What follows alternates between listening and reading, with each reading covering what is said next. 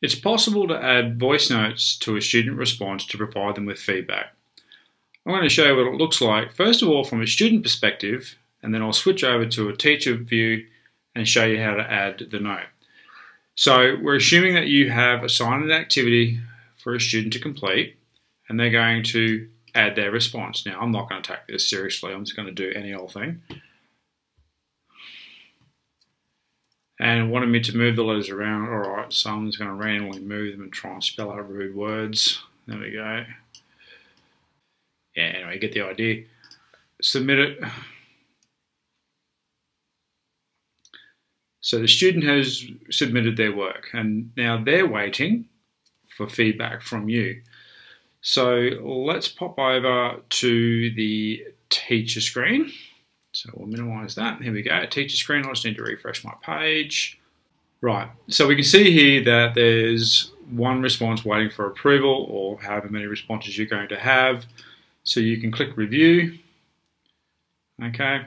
And then down here, you'll see all of the students who have submitted a response or not submitted a response. So you click on the student's response, you can have a look at what they've done to provide the feedback, you come here to comment. You can type something in, or you can come across here to the microphone. Click the button to start recording. Hey test student, you haven't done a very good job. Go back and try again, please. And you can play it back make sure it sounds okay. If you don't like it, you can record it again. If you do like it, or you can remove it.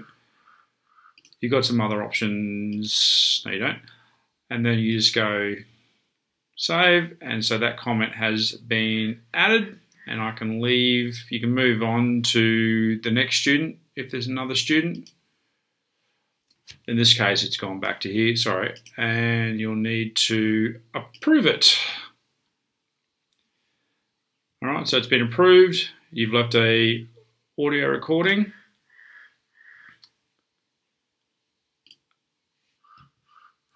Okay, uh, that should, if I refresh that, that should show that I have done the approval.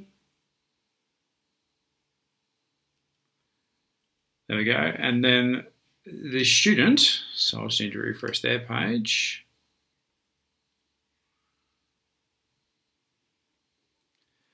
So what they'll see when they come back is they'll see their submission and here's your feedback here that they can click on and listen to. All right, as always, if there's any dramas, let me know.